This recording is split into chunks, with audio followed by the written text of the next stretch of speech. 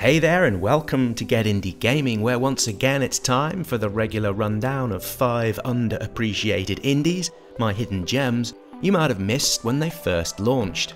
See anything you like? Be sure to let me know in the comments, and let's get straight into the action. At number 5, having launched on PC back in April of this year, Zombotron is the follow up to the much loved and admired web game of the same name. The story is instantly familiar. You play as Blaze Rush, a mercenary, having followed the signal of a distress beacon to a mysterious and dangerous planet that's overwhelmed by zombie like creatures. Now, I only picked this one up in the last week or so, having once more gotten back into playing run and gun games by way of Blazing Chrome, which came out in mid July. Zombotron looks and plays like any one of the well-known classics of the genre, with the graphics and overall art style being a true highlight, particularly with the detail in the background scenes and the objects you the player are able to interact with. As I mentioned earlier, the overall storyline and its plot is nothing new, although for me that doesn't really matter.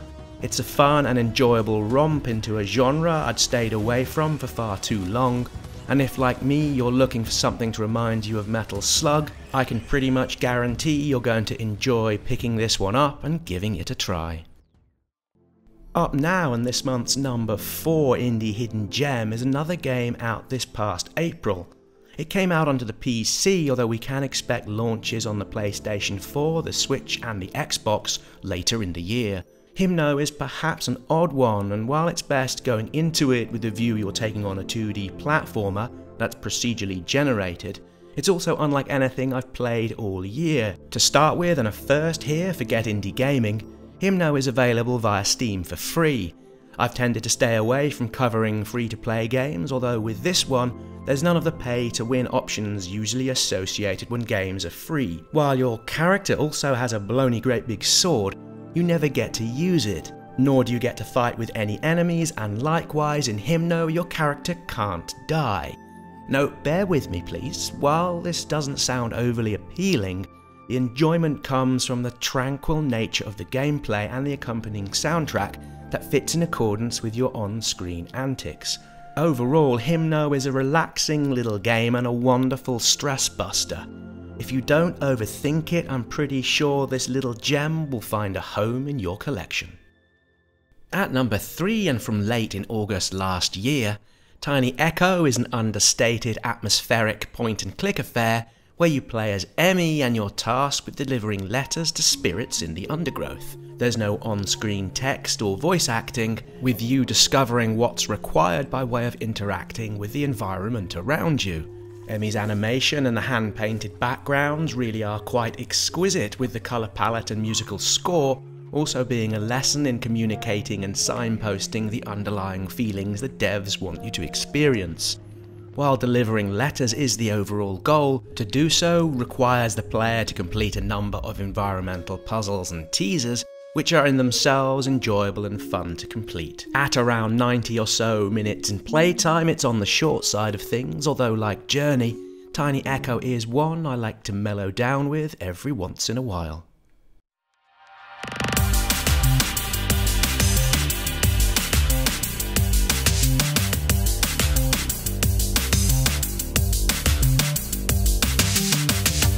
At number 2, out in early access back in March of this year, our runner up for August is Nova Drift.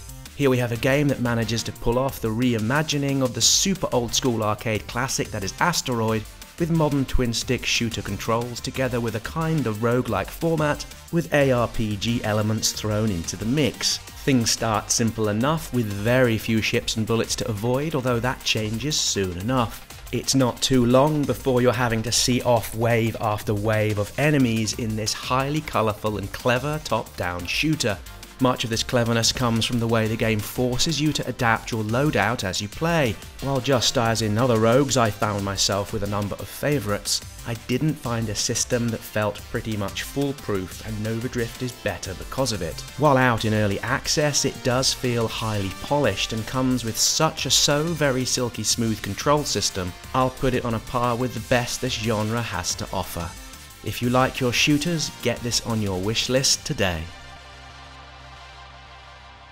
Do you sometimes feel that everything is just about to happen, while all of it has already been decided? Yes. Stranded in the middle of nowhere. Mr. Tannhauser? My number one hidden gem for August 2019 came out in March of this year on PC and all of the consoles from this generation. Trüberbrook offers a reimagining of the classic point and click interactive adventure, with it telling a tale of a young scientist within an alternate reality that uses handmade 3D models, which are for the most part pretty darn breathtaking to look at. These models were pulled together using a method in which the game world is built into a real life model before the scene is scanned and digitally placed into the game. It really is one of the best looking indie games I've seen all year. You play as Hans, having recently arrived in the West German town of Trüberbrook, and over the game's four chapters you piece together a compelling sci-fi mystery that oozes charm and offers a script that's almost as sharp as the visuals. Some people will find flaws with some of the puzzle elements that could have at times had better signposting, although all in for puzzle adventure gaming fans, Trüberbrook is a real hidden treat to be found. And with that, many thanks for watching. Please don't forget to click that like button and subscribe to the channel and I look forward to seeing you all back here soon for more indie game videos.